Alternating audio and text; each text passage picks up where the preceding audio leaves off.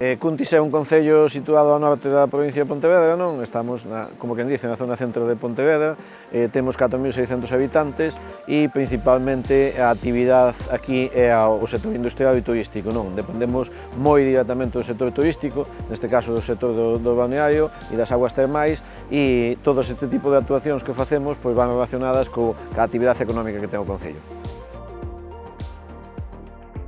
A actuación que levamos a cabo nesta eh, financiada polo GDR pois é unha actuación eh, que ven encaminhada no, no, no tema turístico. Non? Eh, desarrollanse estas dúas actuacións, unha delas no Paseo do Río Gallo e outra neste paseo que estamos do Río da Pateda, e son dúas actuacións dedicadas únicas exclusivamente ao ocio e ao sector turístico. Creemos que eh, temos que apoiar moito o sector turístico, dado os visitantes que, que o fan, non? e estas zonas de paseo que aquí fixemos, que aquí actuamos eh, nesta zona do, do Río da Pateva e no Río Gallo, pois fan que se fomente máis a actividade turística e que a xente pois poida disfrutar máis da vida de Cuntis. Non?